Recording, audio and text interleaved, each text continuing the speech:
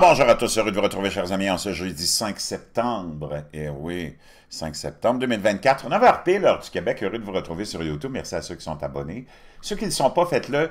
Maintenant, merci à ceux qui m'envoient des liens, des messages toujours pertinents, très intelligents et très appréciés. On le voit, on vit dans un monde maintenant orwellien, celui qui nous prévenait dans un livre de fiction, qu'un gouvernement mondial communiste totalitaire s'installerait un jour, n'oubliez pas que c'est un Anglais qui a écrit ça et que ça se déroule en Angleterre, et on voit ce qui est en train de se produire en Angleterre depuis quelques années, mais surtout depuis l'avènement de Keir Starmer. On voit l'Union européenne qui veut bannir Twitter, que t'aimes Twitter ou non, que t'aimes, ou ah, maintenant X, que t'aimes Elon Musk ou non, c'est pas vraiment important. La liberté de parole, c'est plus important que ça. On voit ce qui se passe avec le Brésil qui a banni Twitter, littéralement. Twitter est ben, X, X est banni dans d'autres pays aussi, où on n'aime pas naturellement la liberté d'expression. Ça nous amène à se poser des questions plus fondamentales sur ce qui s'en vient avec l'élection américaine, naturellement, et l'éventualité d'une victoire de Kamala Harris qui est improbable, mais c'est tout fabriqué de toutes pièces. On essaye, comme dans le fameux livre de George Orwell 1984, de créer une réalité. le complexe médiatique occidental, contrôlé, propriété du culte qui nous gouverne, depuis quelques années, réécrit l'histoire à son avantage déforme les faits, crée une réalité qui n'existe pas, qui est fantaisiste, mais qu'on ne, cesse de répéter et répéter et répéter à longueur de journée dans les médias de masse, dans ce complexe médiatique mafieux, qui est encore, malheureusement, regardé par la majorité, par les millions de, de bons euh, humains, de bons samaritains que nous sommes, mais très naïfs, et ces gens-là se font endoctriner, endoctriner, endoctriner parce que tu as toujours ce lien de confiance qui reste là entre ton gouvernement, tes médias, tes, acteurs, tes actrices, tes chanteurs, tes chanteuses, qui sont toutes dans le coup naturellement, puis qui te réconfortent et te donnent confiance en eux et dans le système comme étant les grands défenseurs de ta liberté, de ta démocratie, de ce que tu as, mais tu n'as plus rien. Et pour qu'on puisse continuer à aller fouiller dans tes poches sans que tu dises le moindre mot, mais que tu t'offenses d'une parole de Donald Trump, mais que ton gouvernement t'enlève 10, 15, 20, 30 000 dollars de tes poches sans te le demander pour le donner aux artistes, pour les financer, pour le donner aux amis du système, pour les financer dans les programmes d'infrastructure, ça, ça te dérange pas. Mais une parole hein, offusquante de Donald Trump, un tweet offusquant, ça, ça vient te déranger, mais que ton gouvernement te prenne 30, 40, 50 000 dans tes poches sans te le demander, pour absolument aucun résultat, ça ne semble pas déranger qui que ce soit, qu'on te prenne ton argent pour l'envoyer dans des... Parce que maintenant, notre culte fait la promotion des conflits dans son grand message de défense de la démocratie. Mais dès que le peuple se... Comment dire le peuple s'exprime et choisit un gouvernement, comme on le fait dans divers pays, qui ne faisait pas l'affaire du culte qui nous gouverne, tout de suite, on parle de populisme, de danger à la démocratie, de suprémacistes blancs, et j'en passe et j'en passe. Pourtant, la démocratie, c'est le choix du peuple, mais on ne veut pas que tu t'exprimes, on ne veut surtout pas que tu votes selon tes convictions, on veut que tu votes selon les ordres qu'on te donne, indirectement, via la propagande qu'on t'installe jour après jour dans tes médias, via tes artistes, tes chanteurs, tes chanteuses préférés. Ce qui se passe en Ukraine en ce moment, c'est hallucinant. Depuis trois ans, puis je t'en avais déjà parlé, ceux qui me suivent depuis longtemps, ça va être long parce que c'est difficile de comprendre qu'est-ce qui se passe vraiment en dessous des roches avec le culte qui nous gouverne. Mais c'est de faire avancer leur, disons, programme, mais surtout, leur conclusion ultime, c'est de contrôler tout le monde. Tu le vois, ça s'en vient. Je peux te dire une chose, à un rythme effarant, plus l'effondrement économique qui s'en vient, parce que là encore, on te crée une fiction en essayant de te faire avaler que tout va bien, que l'économie va bien, alors que les emplois tombent comme des mouches, les entreprises ferment comme des mouches, que ce soit aux États-Unis, en Europe, et là maintenant, on a même, imagine-toi, tu as même euh, Volkswagen qui est au bord de la faillite et qui va être obligé de licencier des milliers et des milliers de travailleurs syndiqués pour réduire ses coûts, pour éviter la faillite. L'Europe étant complète effondrement économique depuis longtemps. On fait survivre ça avec de l'impression d'argent à gogo, autant aux États-Unis, au Canada qu'en Europe, via les banques. Les banques euh, nationales, les banques fédérales, la Banque de la France, la Banque du Canada, la Fed aux États-Unis, on imprime des trilliards et des quintrilliards de dollars pour donner et laisser en vie artificiellement une économie qui ne vit que sur le crédit. C'est ça la réalité.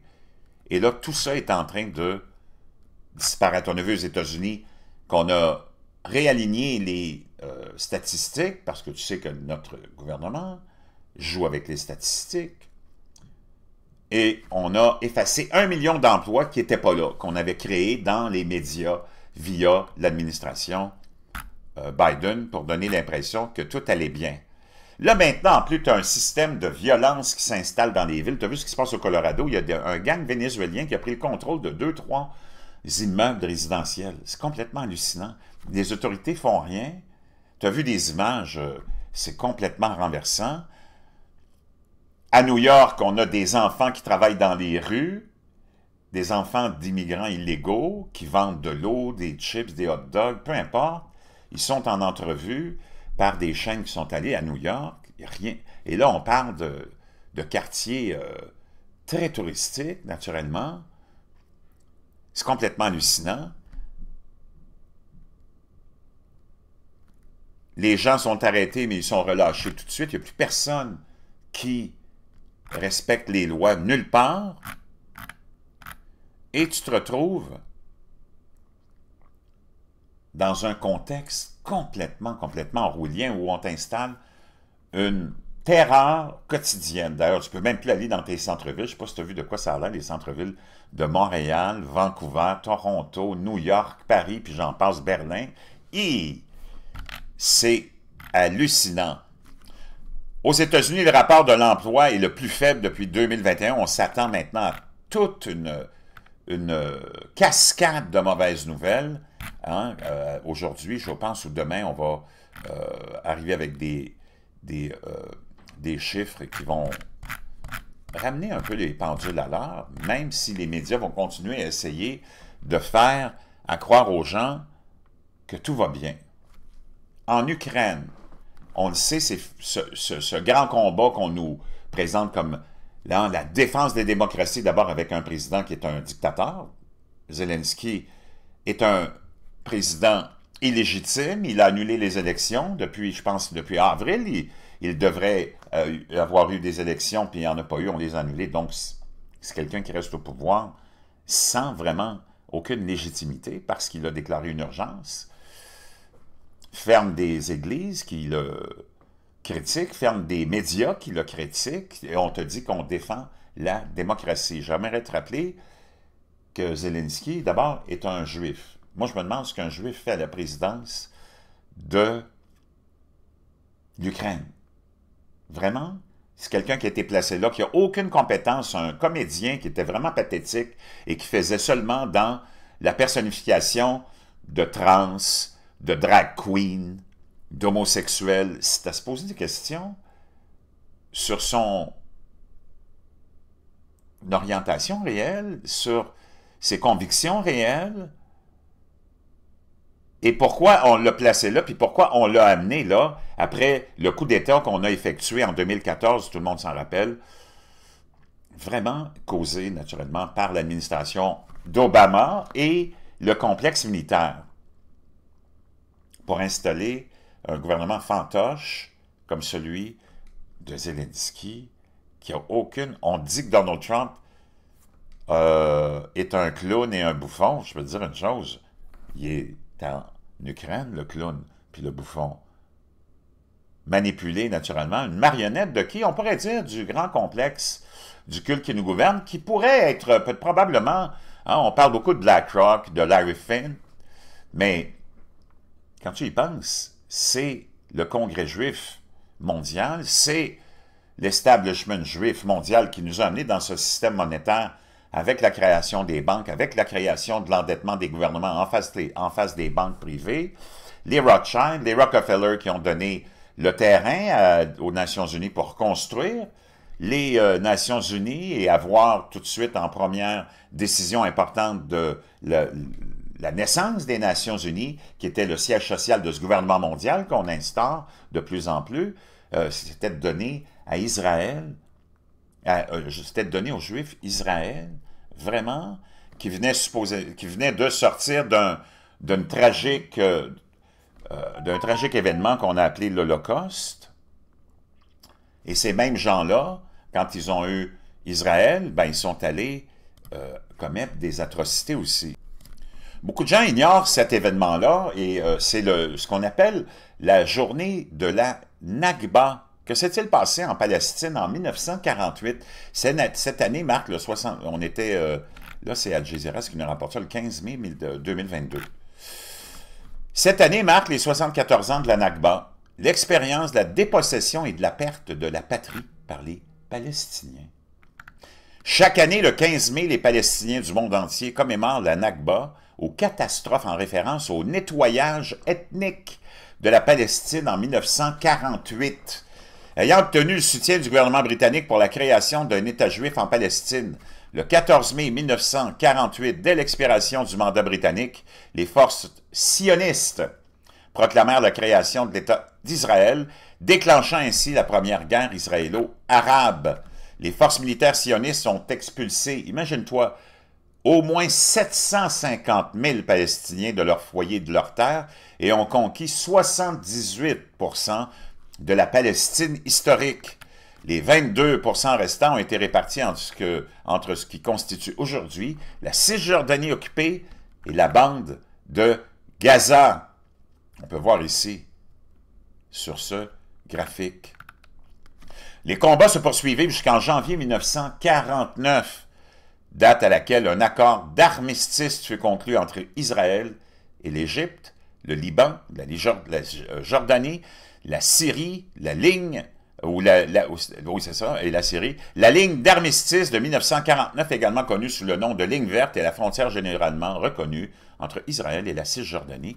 La ligne verte est également appelée frontière d'avant 67, avant qu'Israël n'occupe le reste de la Palestine pendant la guerre de 67. Donc, pour des gens qui viennent de sortir d'une tragédie, ben, imagine-toi, on est allé faire un nettoyage ethnique complètement hallucinant. Donc, c'est pas quelque chose dont on entend vraiment parler dans les complexes médiatiques.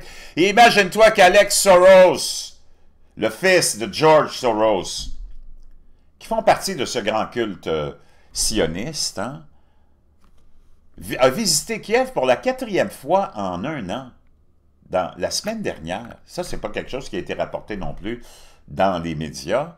Alex Soros, président du conseil d'administration de la fondation Open Society, a effectué sa quatrième visite en Ukraine cette année.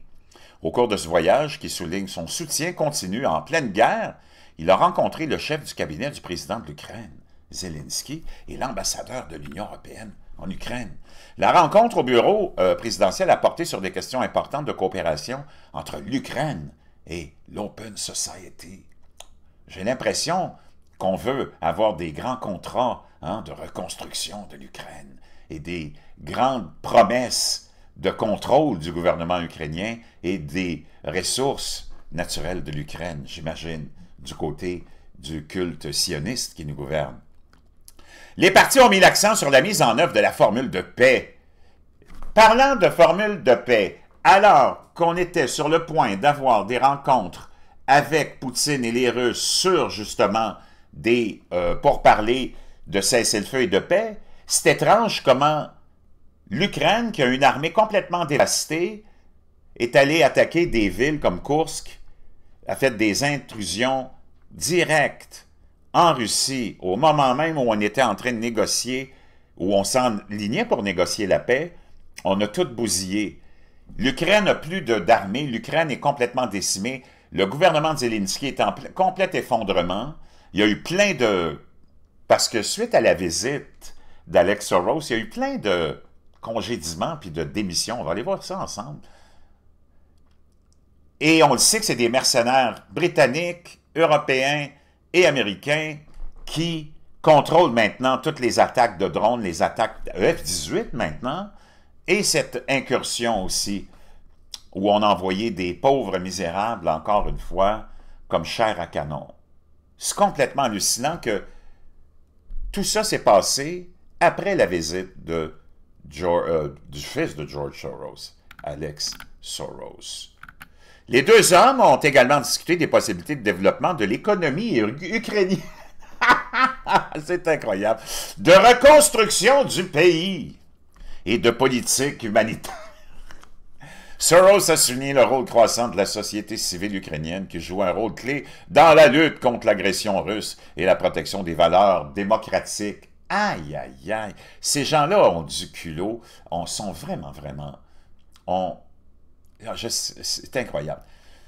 Wow, ce sont vraiment sans vergogne. Il a noté que le renforcement du dialogue entre le gouvernement et la société civile était essentiel à la stratégie de victoire de l'Ukraine. Ces gens-là ont rien, rien à branler de la dignité humaine puis de la vie humaine. C'est hallucinant.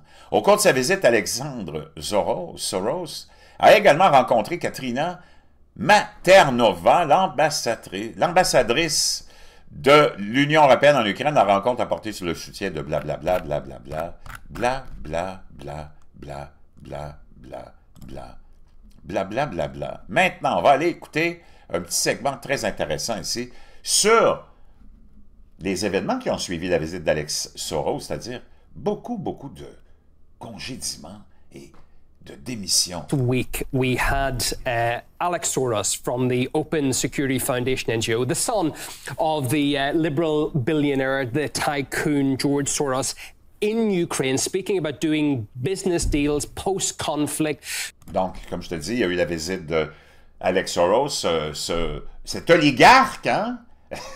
du complexe sioniste qui a dit qu'il voulait s'assurer qu'il était, était pour faire des bonnes affaires en Ukraine. You've also got uh, the restoration of the country being one of the top top. Et naturellement, la reconstruction du pays étant la priorité des sionistes et de ce culte qui nous gouverne et de Alex Soros et d'Open Society. By Rothschild and Co. So you've a lot. Oh, les Rothschild aussi sont là. Investors speaking about what's going to happen to Ukraine. And I put it to you, Shay, that when this happens, when you've got so much money at stake. Quand il y a autant d'argent en jeu, people want return for... les gens veulent un retour sur leur investissement. Hein? Their buck. And now we're seeing this happening, right? Et là, on le voit maintenant devant nos yeux, c'est ça qui est en train de se produire. C'est le retour sur l'investissement de la guerre et de l'armement. Mm -hmm. Indeed, and to suggest that uh, this kind of money, the people in charge of the investment uh, in Ukraine, if you like, if you can call. Dans le fond, c'est pas une guerre, c'est un investissement qu'on a fait en Ukraine. That uh, uh, the economy is in uh, in tatters, if you like, to use the words of a very famous uh, European politician. L'économie est en jeu, c'est ça qui est le, le grand, grand but ultime. These people have immense influence and Donc, ces gens ont une influence, on le sait, internationale. Also, what's interesting, if you look at some of the more important people who have uh, resigned or been... Il y a, donc, il y a beaucoup, beaucoup de gens importants qui ont soit été congédiés ou ont démissionné. Fired, mm. uh, like uh, Olga Stefanchina. The... On les a ici. Olga Stefanchina, Nikolai Oleschuk, Irina Vereshchuk et Dimitri Kuleba. Lui, il était le ministre des Affaires étrangères. L'autre, Olga, c'était la députée euh, première ministre pour euh, l'intégration de l'Ukraine à l'Europe. C'était elle qui était en charge de ça, démissionnée. Madame Irina, elle, c'était la ministre de la réintégration euh, des territoires occupés. Et l'autre, Nikolai, c'était le commandant en chef des forces armées congédié. Deputy Prime Minister for European and Euro-Atlantic Integration. This would be a... Donc, chers amis, ce qui est en jeu ici, on le sait très très bien, c'est l'instauration, encore une fois, d'un autre euh, gouvernement fantoche qui va prendre le contrôle d'une économie au service du culte qui nous gouverne. Il y a même un autre aspect assez intéressant, je te, le présente tout de suite. Et là, on va voir le complexe militaro-industriel américain qui s'est installé directement en Ukraine. On est en train de développer des armes, de prétendre qu'on est. L'Ukraine est devenue un grand développeur d'armes. C'est complètement hallucinant. Et l'Ukraine se vante de, de fabriquer des armes et de pouvoir les vendre, alors que nous autres, on envoie des armes là-bas. Regarde les images que je vais te montrer. Ça, c'est une nouvelle... Une espèce de drone dragon qui, lance une espèce de terme... De, c'est espèce de torche de feu, je ne sais pas comment la décrire, c'est fait de termites ou je ne sais pas quoi, et ça, c'est ce qu'on est en train de développer en Ukraine, euh, les grands défenseurs de la démocratie, des drones pour littéralement brûler les gens. On va voir ça, c'est hallucinant. C'est comme un immense dragon volant qui brûlerait tout sur son passage. C'est complètement gaga. Wow! Complètement hallucinant. Chers amis, je ne sais pas euh, vers quoi tout ça s'en va, mais c'était juste pour te démontrer à quel point euh, on est rendu euh, complètement, complètement cinglé du côté du... Imagine-toi, Zelensky a publié sur X la vidéo suivante où on te dit que l'Ukraine maintenant est un producteur d'armes et vend des armes. C'est quoi cette histoire-là? C'est complètement hallucinant. Ça, c'est sur le compte de Zelensky sur Bogdana Self-Propelled Artillery System. Previously unseen surface UAVs, long-range missiles, and drones. Ukraine already has the weapons to counter enemies' attacks. But as the war continues, Ukraine continues to increase its military production. Donc l'Ukraine, pendant que la guerre se poursuit, puis là, ils t'ont montré plein d'armes, puis d'équipements qu'ils sont en train de, eux, construire. Pardon? Et il dit, pendant que la guerre se, poursuit, nous autres, on continue notre intense production militaire. L'Ukraine, depuis quand? In the two and a half years of full-scale war, Russia has launched over 43,000 various types. Donc, depuis que la guerre a commencé, la Russie a, a lancé 43 000 euh, différents types de missiles. Missiles and glide bombs at Ukraine. Et des bombes. One of the most effective ways to counter this is to strike at the carriers of these weapons. Russian aircraft Ils n'ont rien. On a renvoyé, on n'arrête pas d'envoyer de l'armement parce qu'ils n'ont rien. Puis là, ils seraient devenus un grand producteur. Moi, je ne comprends plus rien, chers amis, je vous laisse là-dessus parce que hop, je pense que ça n'a pas marché. Je vais aller te chercher. Attends, parce que j'ai trop de fenêtres ouvertes, là. Je vais en enlever une ou deux. Euh... Je vais voir si c'est revenu. Oui. Ok, je vais te le faire rejouer. Range missiles and drones. Ukraine already has the weapons to counter enemy's attacks. But as the war continues, Ukraine continues to increase its military production. In the two and a half years of full-scale war, Russia has launched over 43,000 various types of missiles and glide bombs at Ukraine. One of the most effective ways to counter this is to strike at the carriers of these weapons, Russian aircraft at military airfields. However, allies have not yet permitted Ukraine to do this with their weapons. The state has launched a grant program for private rocket projects. Donc l'État vient de lancer un grand programme privé de fusées ou de missiles. Invested in state design bureaus. Wow! Hallucinant. Mais, chers amis, c'est là où on en est, puis on n'est pas sorti de l'auberge. Je peux dire une chose. Préparons-nous, parce que la tyrannie est plus qu'à nos portes, est rendue dans nos maisons.